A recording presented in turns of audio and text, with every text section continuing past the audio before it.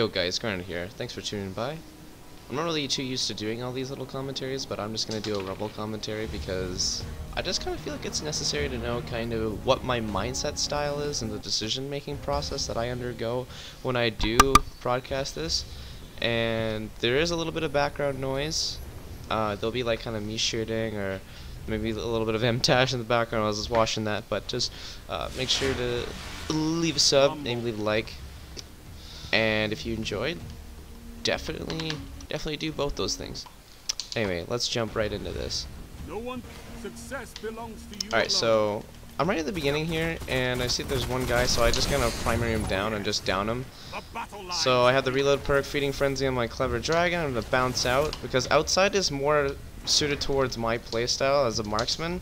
So outside is like more long ranges and stuff. This I see this guy spawn here, and I just I just go ahead and just primary challenge, and he's not gonna do anything because I saw him right off the bat. I go inside to see anyone, and there is one guy. So here's one thing I also do too is that I do the pre-aim as well with with clever dragon and your sniper. You're gonna want to do that. Um, I try to stick this guy, but unfortunately I didn't. So I try to the primary game. I know that he's getting an engagement now since he's shooting someone. So here's an opportunity to strike.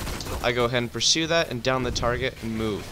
And when I move over here, obviously I see that there's a target on my radar and start blasting him. Half health, perfect. And I know there might be one guy at top, but he's not there. So I just go ahead and I keep roaming outside and I keep checking around to see if there's anyone, and I see that there's no one. So I hear hear there's gunfights in here, looking for someone, and I get a target. Now there's a guy rushing me right here, and this is the part where I kind of get sandwiched in. So I have him at half health. I glide in. I want to melee him, but then I got I got killed. But I also didn't look at the side of the corner. So that's one of the mistakes that I made right there.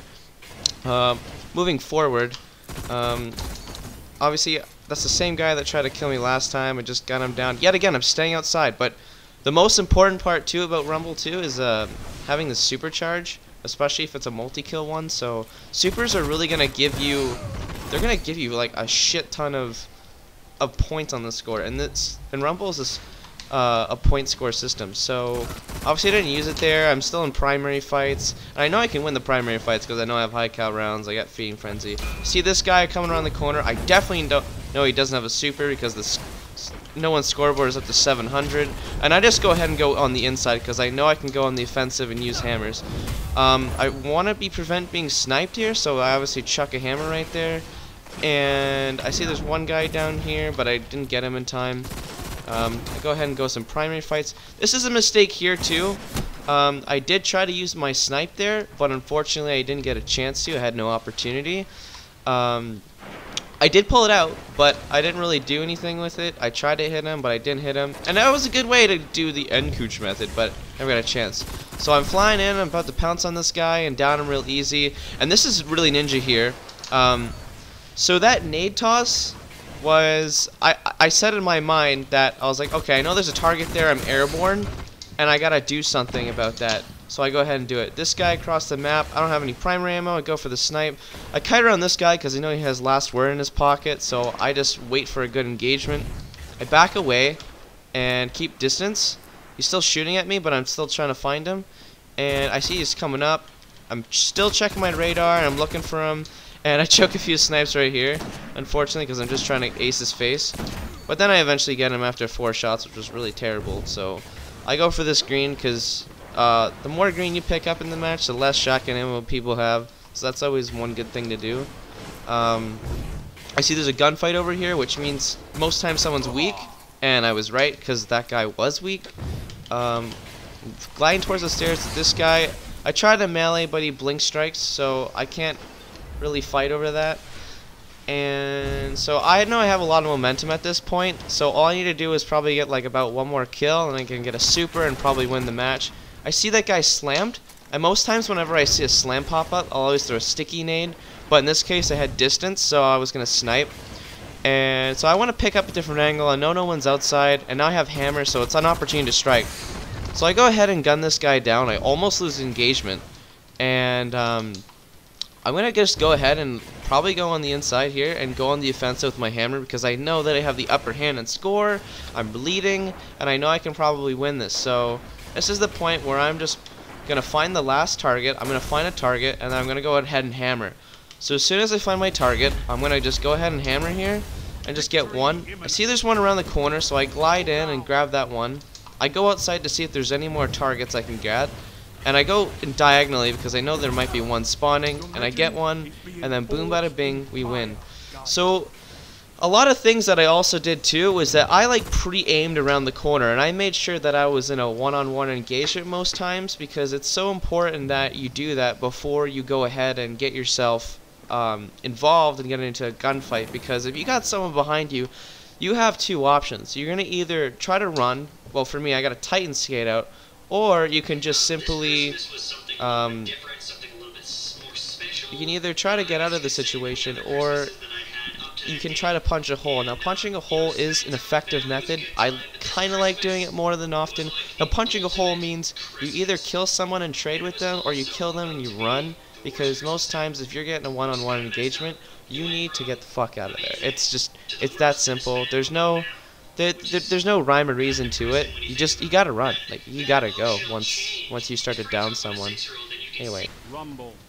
Alright, so I did Alright, so I did like about two rounds here, and I'm facing the exact same guy again. Um, Pleo or something like that, physical. Um, this match was pretty darn close. I thought he was going to win, but then I got some momentum, and you'll see. So, right there, as you saw, like, I did just do the sticky nade, and then I go ahead and primary.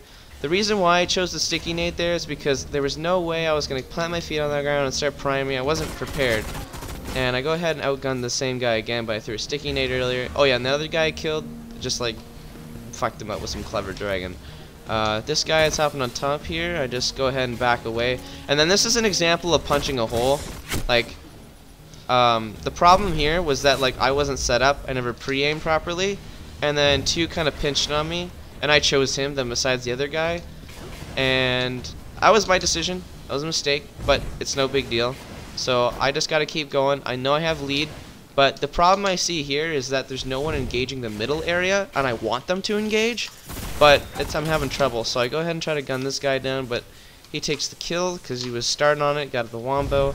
I go back into middle, simply thinking that there'd be someone challenging from either side, and I check this side and the next. Oh, and I don't check the other side, but I go back into middle, and I'm kind of looking to see if there's this guy here, and he gets a body hit on me. And it's never smart if you get hit by a sniper to re-engage. And if you have the opportunity to turn the corner and get in cover, that's good too. And as you saw there, um, that was a big pinch. So there was a guy that was behind me and a guy in front of me. I don't know, the guy was in front of me. I knew there's a guy behind me, that's why I fleed. And you that's kind of smart to do, but at the same time, yet again, I ma I'm making the same mistake here. And you're going to be seeing this over and over in this round because I want people to come to here, but I can't get them. However, this guy's going to approach, and I'm pre-aiming already, so I know for sure that I'm already going to have this engagement in the bag. I see that this guy, I'm trying to pre-aim, and I lose the engagement. I should have slid out around the corner instead because he knew I was exactly going to be there. If I slide out, then I have a chance to kind of get a little bit of momentum. We'll have shots. And he can't exactly land all headshots, but I can. So that's the same guy again, I just outgun him because he's out distance. I snipe over in this angle, thinking that there's someone over there, and there is, but they're not approaching, and that's kind of my style too, is to try to bait in someone or just try to hard scope and wait for them to come. And I just go ahead and go in and, yet again, I'm pre-aiming. Like, I'm ready for this guy to come out. I'm ready for this guy. I'm committing, and he comes out, and I just outgun him right there. That's simple, simple, simple. I think there's a guy across the map, snipe, and then there's this guy, and then yet again I do the sticky nade. Um, I use the sticky nade just in some tight spots and situations so I can try to down a target. Yet again, this was an engagement that I did do good in. I like saw him shooting at me, had the first shot, he threw the skippies, I tried to run, and I kind of got cockblocked with Garrison, but that's okay. I still made an effort to run. This guy almost dies. I really cheesed about this kill. Unfortunately, I don't get him, which really sucks and the guy yet again Fazo kills him because he has momentum he's on top he's in the middle he's trying to control that area. This is the prime area where you do want to control as well. Um, so I'm just gonna go ahead and try to get some shots off I don't kill him. I see there's a skip he's following me so there's nothing I can really do about it. And I just flee from him because I know I can't win. See there's a tether there? I go ahead and go around the other side. Now I'm safe and I'm gonna just go ahead and hammer it because I need some score on the board that guy was with the Nova Bomb me, thank god I got the hammer off in time. sometimes you can do that if they're weak. Um, sometimes you actually can kill them at full health, which is really awesome. I see there's this guy in the air, I missed my hammer, get a kill still, but I could have gotten about like possibly one more kill there, but I just I messed up my first hammer. Not a big deal. I still have score on the scoreboard, but yet again, the Phaso guy is not far behind me. He downs me really quickly. He got the skippies off, then he got some nades. Um, that's one thing too as a hunter is that if they throw skippies and if they get primary shots, they'll kill you. Um, right there, I hop on top. He's already pre-aimed. I try to snipe, and I don't get anything out of it, which is terrible. And as soon as that happens, I know I'm dead. You see there's a guy like I try to run into, and there's this guy on the side. I pull out my snipe, get a quick kill, check my radar. There's a guy behind me. I'm skating away, and then I see that there's two guys here, so I go ahead and push this one, get a health nade, get back because I need to pre-aim and ready for this guy. Almost killed him, but I didn't get quite kill him. I know there's a guy around the side here, so I pre-aim and wait for him to come around the corner, but unfortunately he doesn't. And now it's heavy time, so I can't commit to that guy all the time because I gotta go for heavy ammo, and heavy ammo is really important. So I try to engage this guy, and I'm waiting for my sticky grenade, but I was like, fuck it, and just go, but he had them. He had a better advantage because he was on ground, and this is the part where I just kind of fucked his day over, unfortunately. So I just kind of waited for him to come around the corner here, but he doesn't end up coming around the corner, so I have to make a decision. And here's Phaso, and he has rockets already, so he throws one. I threw a sticky nade and Garrison the other way. As a Garrison too, it's also important to change your movement up, and that's exactly what I did. And that's the same guy who killed me earlier who picked up the heavy, and he tried to gun me down, but I gunned him down instead. But I was lucky I didn't necessarily pre-aim, I just went right into it, and then I just, I gangbanged him super easy. It wasn't strafing necessarily super good. Um, so I know I've I've lost the lead at this point, and I know I need points on the score. I need points on the scoreboard, and I'm really close to super. So I go ahead and just get out of the middle, and I gotta try to get some engagements.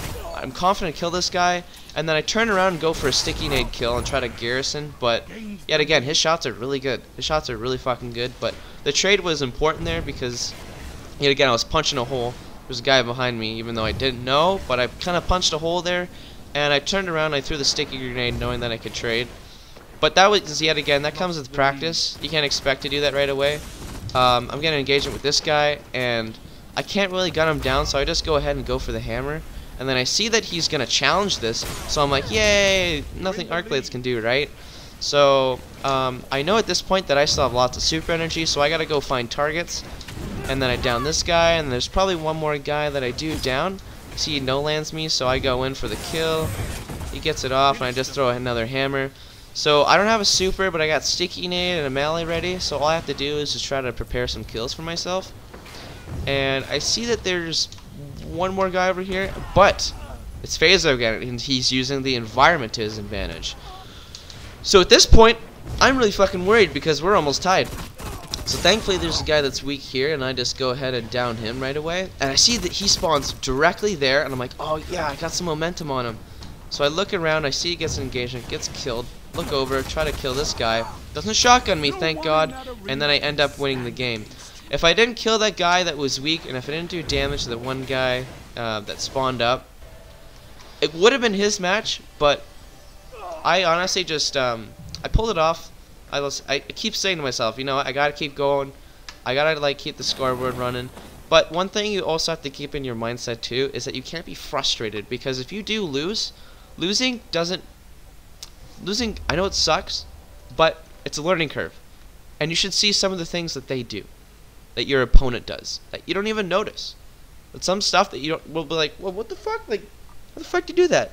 But if you look at kind of what he's doing and his strategy and all of his stats, not all of his stats, but all the stuff in his subclass that he's using and shit like that, then you'll notice.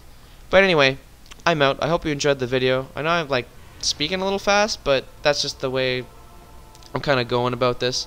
Anyway, chill out. Take care.